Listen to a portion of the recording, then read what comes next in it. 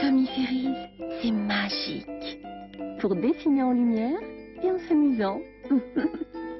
Deux doigts d'astuce et hop, ça change de couleur.